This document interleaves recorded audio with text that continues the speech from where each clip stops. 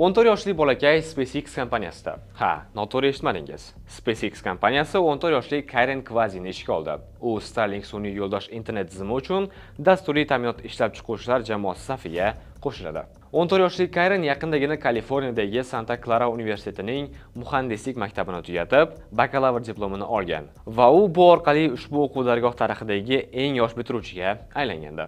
Ma'lumotlarga ko'ra, Karen 2 yoshdayoq to'liq jumlalarni tuzib gapira olgan. 9 yoshda esa u maktab dasturidan ilgarilab ketayotganligini tushunib yetgan. Shundan keyin u Kaliforniya Municipal kollejiga o'qishga kirishga qaror qilgan. Santa Clara universiteti esa uni 11 yoshida o'qishga qabul qilgan. Endi bo'lsa u Elon Muskning SpaceX kompaniyasiga ishga kirdi.